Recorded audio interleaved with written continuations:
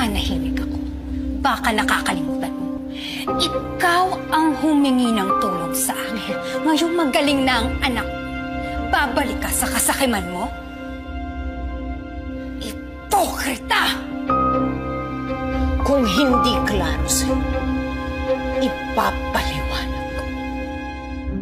Nakakita ka ng oportunidad at pinagsamantalahan mo